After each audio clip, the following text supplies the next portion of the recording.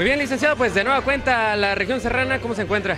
Muy bien, como siempre, muy contento de poder estar en la Sierra de Querétaro, en esta ocasión aquí en Jalpan de Serra, con motivo de dos eventos que me tienen muy contento. Primero, venir a ver a mis jóvenes del COVAC, del COVAC 17 que vinieron a este festival de danza que por decimosexta ocasión se lleva a cabo ahora aquí en Jalpan, una iniciativa del Colegio de Bachilleres que encabeza mi amigo el ingeniero Héctor Guillén, que bueno, permite también que nuestros jóvenes, pues eh, entre ellos... Eh, ahonden en esos lazos de amistad que deben de existir entre los diferentes municipios y adicionalmente, bueno, pues tener la oportunidad de acompañar a mi amigo Gilberto Pedraza en su informe de actividad legislativa, en esta síntesis que hemos podido presenciar de un trabajo que tan solo en un año ha podido significar diferencia para los representados de su distrito.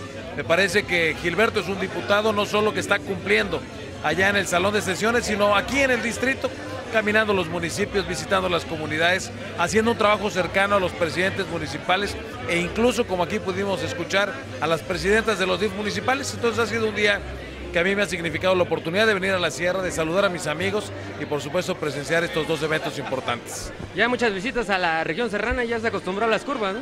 Pues no las que yo quisiera. La verdad es que vengo desde hace muchos, muchos años. Disfruto enormemente de la sierra, no me pesan las curvas. Eh, hace algunos años incluso podía subir hasta leyendo y ahora no. Pero disfruto mucho venir, el paisaje es hermoso, la gente es extraordinaria. Bueno, no hay, no hay desperdicio venir a la sierra. Podemos ver que cada visita que viene, pues cada vez más saludos, cada vez más fotos, cada vez más amigos, ¿no? Los serranos son muy generosos conmigo y yo tengo el privilegio de venir, como les digo, desde hace muchos años y contar con muchos amigos en esta región del estado. Presidente, muchas gracias. Gracias a ustedes y felicidades que están prestos a su aniversario. Los felicito anticipadamente.